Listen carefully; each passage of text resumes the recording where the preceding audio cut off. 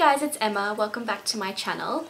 Um, today the lighting might look a little bit different because I actually bought my first set of studio lights. Um, so I'm working out the kinks. I don't know if this is going to be too bright or what it's going to end up looking like on camera. Um, I bought two of them and I'm only using one at the moment because two looked really, really, really bright. So I might keep the other one for a spare.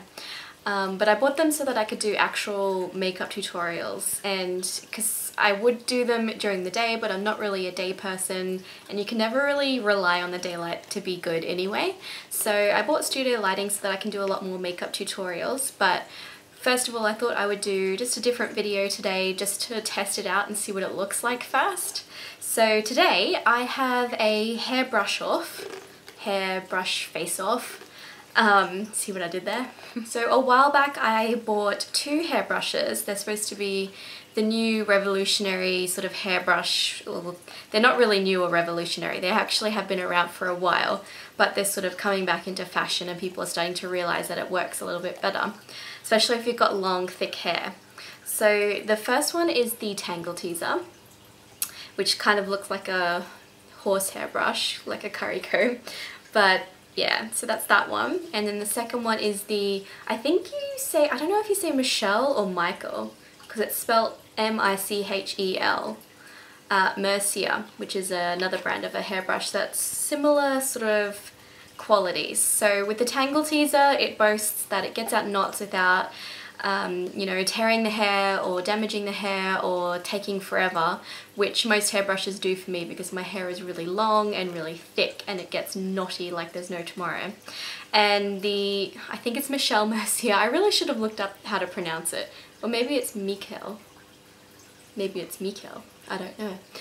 And yeah, so this one boasts a similar aspect. So they actually come in three different types and this is the one for thick hair.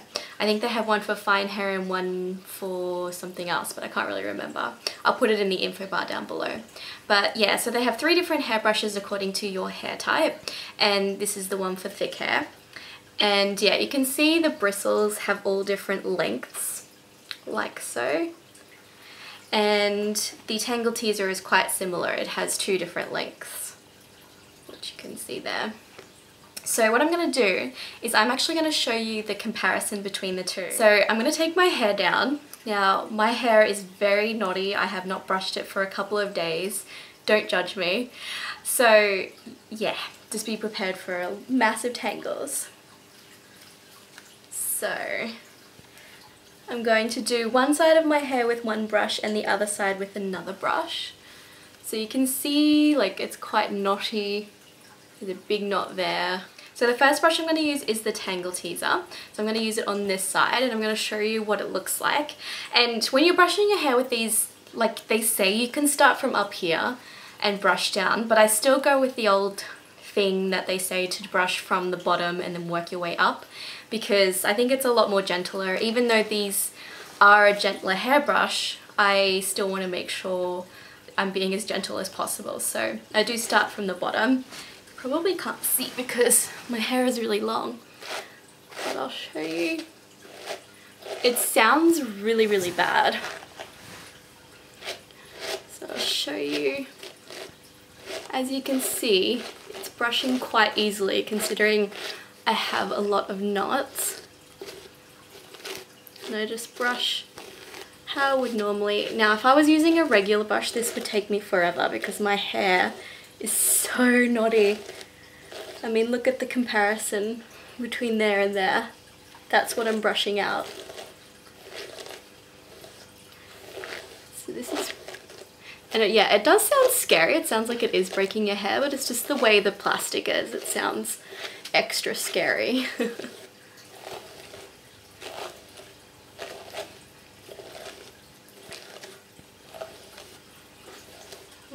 okay, so that's pretty much that side brushed.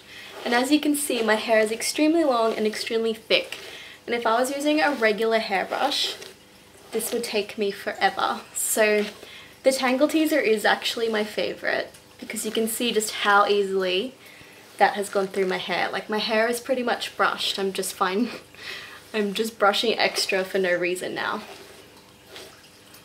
Okay, so you guys can see how easy that was just doing the left side of my hair with the Tangle Teezer.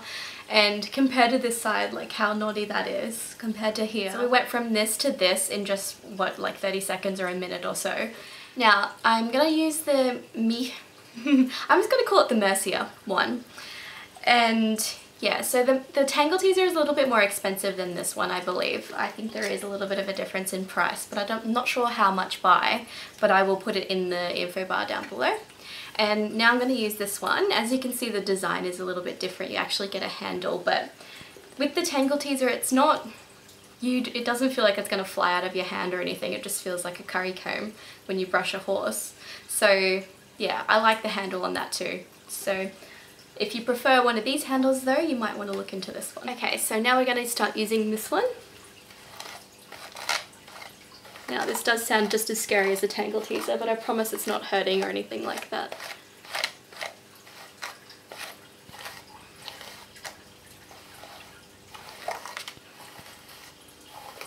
So as you can see, this isn't as easy as the Tangle Teezer. It does get caught in some areas if you've got a particular knots, uh, particular knotty knot. This side was actually a little less knotty than the other side, but